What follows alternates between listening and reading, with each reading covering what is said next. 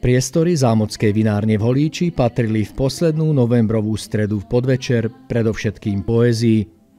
Mestská knižnica v spolupráci s klubom autorov a priateľov literatúry pripravili podujatie s výstižným názvom Poetický advent. Je to tradícia v našom klube. Po posledné roky sme sa vždy snažili v predvianočnom období priniesť ľuďom kus poézie, kus dobra, kus krásy, kus múdrosti a pokoja a navodiť predvianočnú atmosféru, pretože celý rok sme v hektike a v strese a č- akým iným spôsobom ako poéziou skľudniť naše duše a navodiť trošku takú duchovnejšiu, spirituálnu atmosféru. Podujatím sprevádzala od moderátorského mikrofónu Silvia Lukovičová z Mestskej knižnice.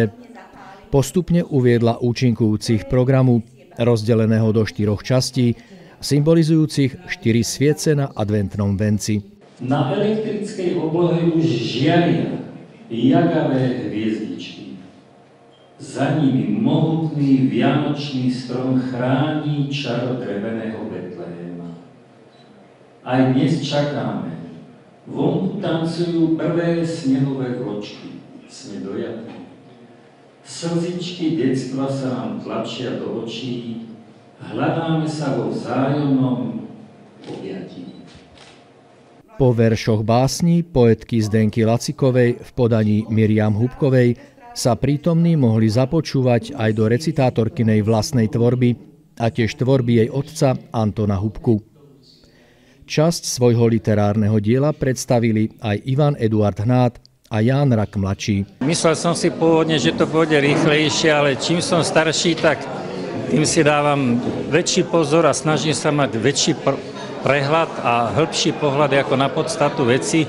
Takže som v štádiu len písania, ale v najbližších mesiacoch knižka asi neuzrie svetlo sveta. Snáď koncom budúceho roka, ešte neviem, to je trošku ďaleko. Návštevníci poetického adventného podvečera sa poprvýkrát mohli oboznámiť aj s tvorbou dvoch nových členov Holického klubu autorov a priateľov literatúry. Štefan Vidlár v prezentácii svojej tvorby okrem iného oživil spomienku na svojho otca, bývalého lekára, ktorého pôsobenie v rodnom meste si pripomenuli najmä tí skôr narodení holíčania. Môj otec, keď, keď, keď vždycky mi hovoril, keď už bol na dôchodku, že carpe diem, využij deň. No a čo s tou starobou, čo s tými chorobami, čo s tým biedným dôchodkom pri tej nízkej penzii? No musíte si nájsť nejaký záujem. No ja som to vzdal e, v Bratislave, Odišiel som od tých politických zvierat a žijem teraz na takej maličkej farme e, so skutočnými zvieratami. No a aby mi to k tej smrti ľahšie ubiehalo, no tak stále tvorím poviedky, skúšam básničky, skúšam aforizmy, e, všetko. No viete, jak je to nomen omen, vidlár, vidly pichajú, tak politická satíra naši politici, to, sú, to je nekonečný zdroj námietu a inšpirácia. Program poetického podvečera bol prierezom tvorby väčšiny členov Holického klubu autorov a priateľov literatúry.